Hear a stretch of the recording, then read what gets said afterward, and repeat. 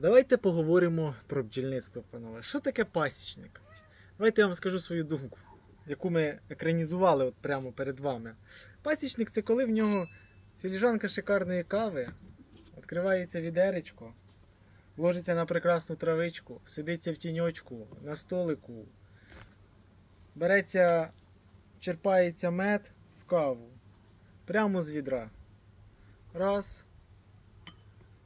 Закривається обов'язково.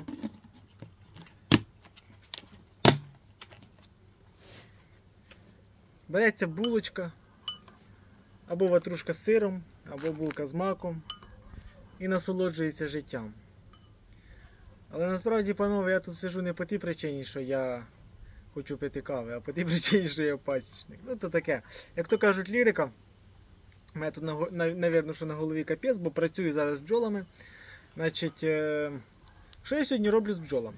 Е, В нас іде такий собі, але йде взяток. То скільки жара просто, але сьогодні щось не так вже жарко. Сьогодні трошки якийсь вітер появився. Коротше, сьогодні, я думаю, буде легше. Е, і відкриваю вулики, кілька там сімей вже встиг глянути. Підставляю вищенку, отаке, знаєте, дорозширяю і роблю профілактику. От сьогодні ще липень місяць, я роблю профілактику трахейного кліща. Ну і в цілому кліща варога, саме за допомогою щавлевої кислоти. Мої учні знають, рецепт цей шикарний. Е, і він дуже гарно працює, ним користується вся Америка. І я от вирішив собі, що треба вже зробити профілактику. І при цьому всьому бджоли несуть золотарник, що є дуже позитивно. Трошки, небагато. Відкриваєш там рамочка, півтори меду є, ну повні вже. І перги дуже багато. Дуже багато, по 2-3 рамки перги в кожній сім'ї.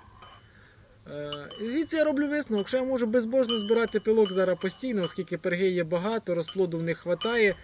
Оскільки є три е, рамки перги, дві рамочки меду. Е, як правило, сім'ї там до 20 плюс-мінус рамок, 8-9 рамочок розплоду і, і, і все. Розумієте? Тому треба, тому треба їм ставити пилкозбірники, не жаліти. Е, в них вуликах є багато, хай носять мені пилочок. Е, Не хочуть медом носити, будемо брати пилочком.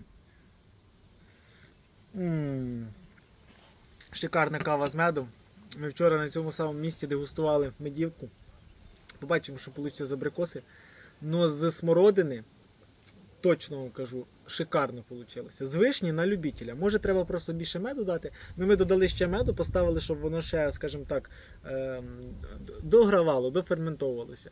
А от смородини, то Блін, прям со старта. Раз і все. Хоч бери зразу по пляшках розливай. Але ми теж ще трошки вистоїмо, щоб воно настоялось, стало крепше.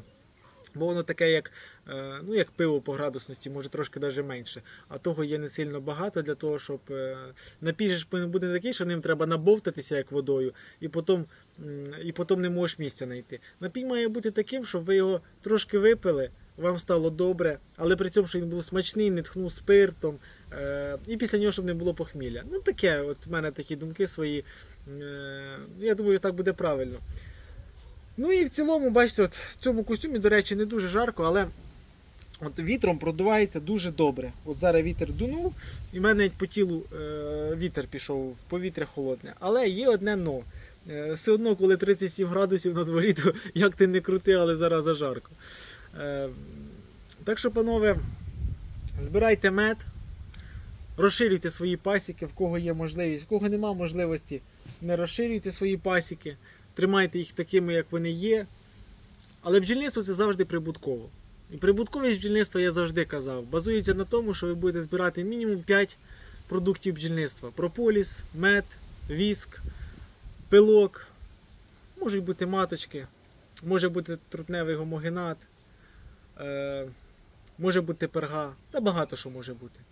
І з того всього спектру, що б я не називав, як би воно що не було, але 5 продуктів бджільництва вам забезпечать стійкість. Мед це побічний продукт, це крутий побічний продукт. Меду буде завжди багато на пасіках. А от зібрати продукт, який, ну, наприклад, зробити б апітуризм на своїй пасіці, о Боже, як добрий вітер подув, це було б зовсім на іншому рівні. Підписуйтесь на канал Beekeeper of Ukraine, популяризуйте галузь бджільництва, а саме споживання продуктів з галузі бджільництва, таких як мед, Тільки з кавою.